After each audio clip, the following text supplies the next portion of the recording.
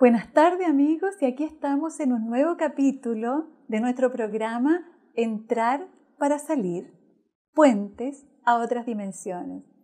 Venimos hablando del cuerpo y el cuerpo, este es nuestro último capítulo, entonces la pregunta es, ¿cómo cerramos con cuerpo?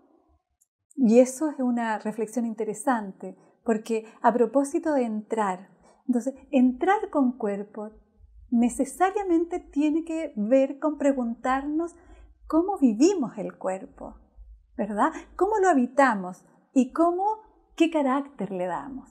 ¿Qué carácter tiene nuestro cuerpo y nuestra imagen corporal? Que son dos mundos completamente distintos, ¿verdad? Nuestro mundo interno no necesariamente se refleja en lo que somos externamente. Nuestro deseo es que haya un puente entre lo que vivimos internamente y lo que vamos expresando externamente. Y eso sin duda tiene que ver como con una suerte de integración de estos dos hemisferios que son los hemisferios cerebrales, el mundo del cerebrito derecho y el mundo del cerebrito izquierdo. Y sigo entrando y no puedo salir. Y entonces estos se articulan y se articulan. ¿Cómo, cómo puedo articular las raíces como con esto que son las flores de la imagen? Bueno, esa es una pregunta que es como interesante de reflexionar, porque esa articulación finalmente es la que nos permite la salud. Estar con cuerpo es estar en un cuerpo saludable y no solo verlo saludable, sino que sentirlo saludable.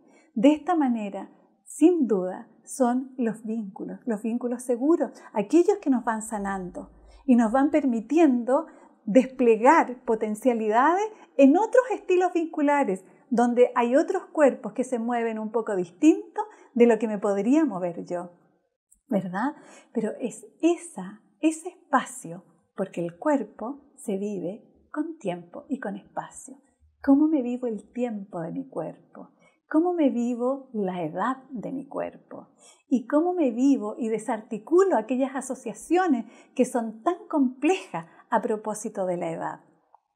Vivir en un cuerpo, en un cuerpo vivo y sano, es vivir en un cuerpo donde los vínculos que también establezco son vínculos sanos.